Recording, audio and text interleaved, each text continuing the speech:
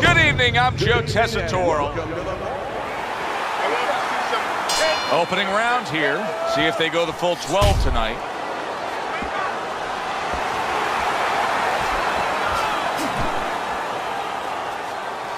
Teddy, I understand some of the obstacles that this counterpuncher faces from an offensive standpoint of what he wants to try to do against this outside fighter. But what about defensively? What does he need to be conscious of defensively?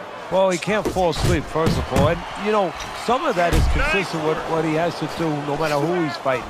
Counter punches are usually pretty good defensively. I mean, that's how they create their offense, Joe. They make you miss. So, you know, he's got to make sure he stays on his P's and Q's. That, you know, when he's walking after the guy, he's going to have to go after him a little bit. That, you know, he's ready for the guy to stop and pot shot. You know, it's not like when the guy's coming at him and he's ready all the time. He's got to make sure that he's ready in different situations. He brings an uppercut that really does damage there.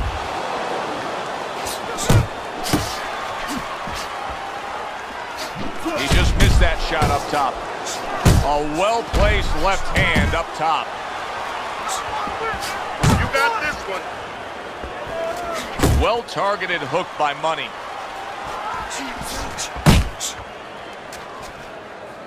And he's holding. The Beast is showing you that sublime skill right now with that two-punch combo. Solid jab by the Beast from the east. He got hit right there, but he also gave one. Solid effort by Davis. And now he's targeting upstairs.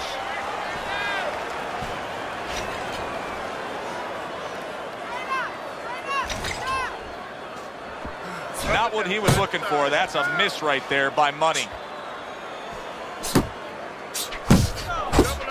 Solid hook upstairs.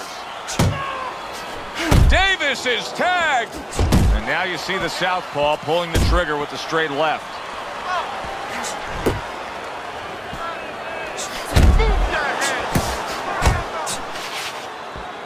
Up top with the right hand. Davis is tagged. The Beast is able to land a good, solid left hand.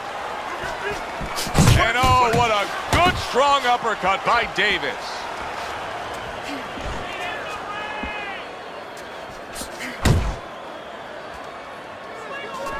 That left hand over the top, he's accurate with it.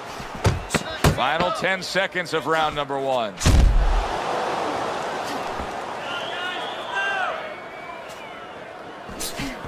Davis is ripped to the head. This round comes to an end here.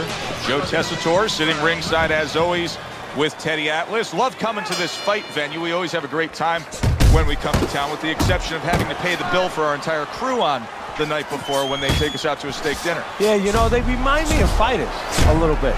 You know, the fighters that we see that have very, yeah, every once in a while, very short arms. you know. They do. they,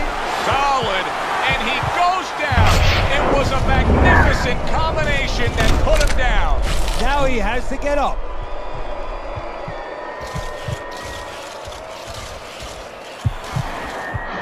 One, two. So he is able to get up to his feet after that knockdown. But Teddy, it's what's ahead that's the problem. Yeah, we're getting a peek right now into his heart, into his soul.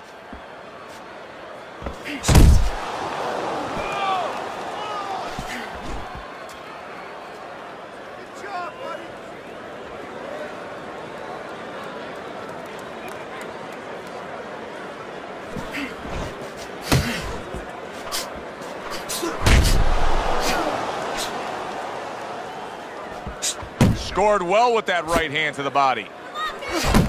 Good solid shots with the combo downstairs. Not hitting his mark there going upstairs.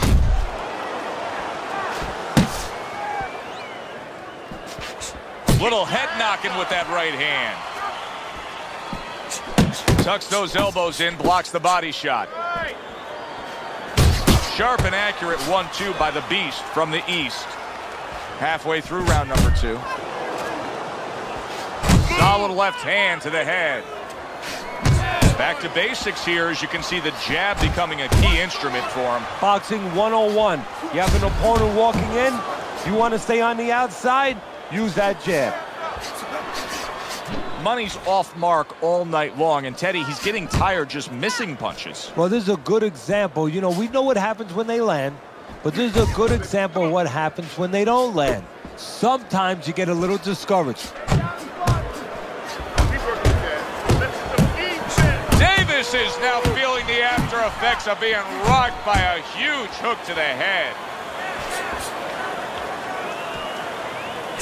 And he's marking that target right above the belt line. The Beast's giving us something to think about early on in this fight here, but his opponent has even more to think about. He has established the jab already. Yes, he has established his jab, and now his opponent has to think about moving his head so he can get past it. Oh, a big shot comes home for him. Oh, this is going to be close. He may be able to survive the round, but he has gone down now.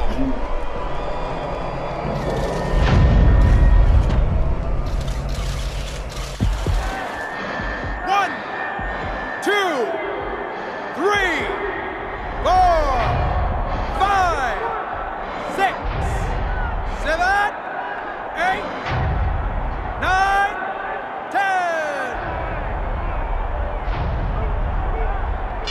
it's over. Look at this. Davis is a knockout victim. He couldn't beat the count.